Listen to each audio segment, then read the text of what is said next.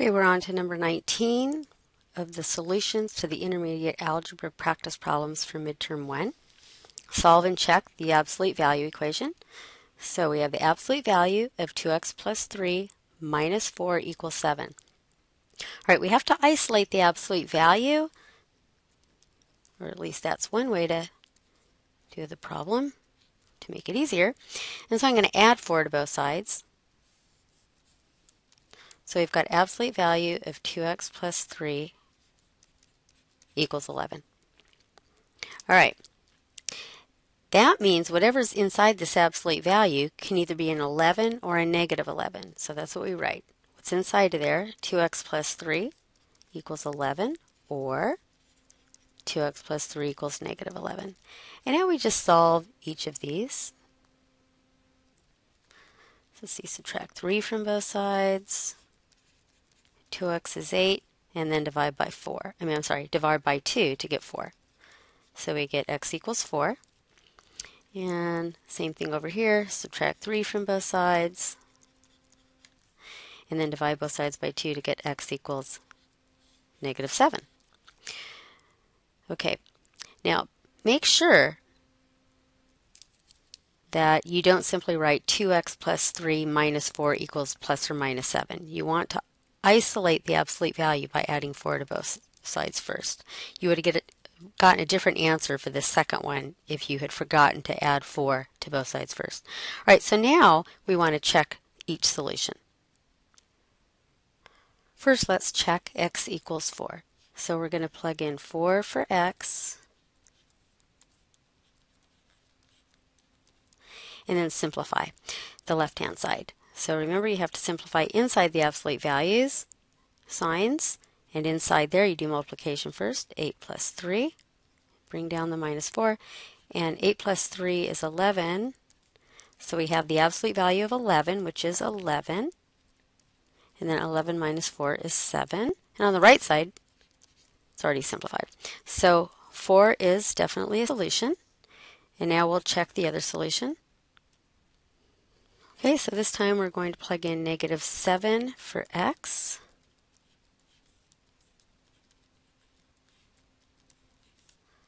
So inside the absolute value, I have negative 7 plus 3. I'm sorry, negative 14 plus 3. And then simplifying inside the absolute value, we've got negative 11. So I have absolute value of negative 11. Still I have that minus 4. Now the absolute value of negative 11 is 11. So I have 11 minus 4 is 7. That checks. So this is a solution as well. So the solutions to the problem were 4 and negative 7.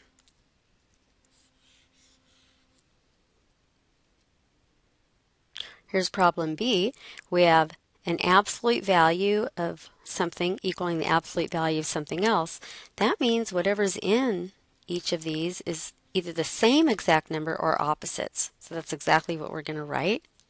Either x minus 3 is actually equal to 2x plus 9, the same number, or they're opposite. So I could take either the opposite of x minus 3 or the opposite of 2x minus 9. I'll take the opposite of x minus 3, and that should be the same as 2x plus 9. Now, you could have written x minus 3 equals the opposite of 2x plus 9. Doesn't really matter. All right, so let's see. Now we're going to solve this for x. So I'm going to, I'm going to put the x on the right-hand side. I'm going to subtract x from both sides and subtract 9 from both sides. So I have negative 12 equals x, or I like to write it as x equals negative 12. And now let's solve the other equation. Negative x plus 3 equals 2x plus 9. And I'm going to do the same thing. I'm going to add x to both sides and subtract 9. So I have negative 6 equals 3x. And then if we divide both sides by 3, we get x equals negative 2, or you could write as x equals negative 2. So looks like those are our solutions, but of course we want to check each of them separately. First, let's check x equals negative 12. So we're going to plug in negative 12 for x and then simplify inside the, the uh, absolute value sign. We have absolute value of negative 15, which is 15 on the left side. And now we're going to plug in negative 12 for x on the right side. So we have negative 24 plus 9. So that gives us absolute value of negative 15 which is also 15. So negative 12 is a solution, and then we'll check x equals negative 2. All right, so let's check x equals negative 2. So we're going to put in negative 2 for x and simplify inside the absolute value is negative 5. Absolute value of negative 5 is 5. On the right hand side, we're going to put in negative 2 for x. And that gives us inside the absolute value negative 4 plus 9, which is the absolute value of 5, and then the absolute value of 5 is 5. So negative 2 is also a solution.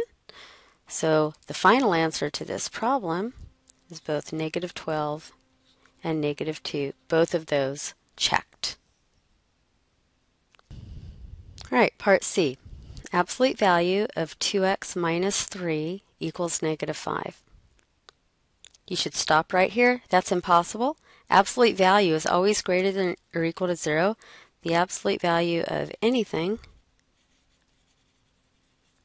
is always greater than or equal to 0. So this is a false statement. That's impossible. So the solution is actually no solution. Okay, or the empty set. Or you can write it like that to show the empty set.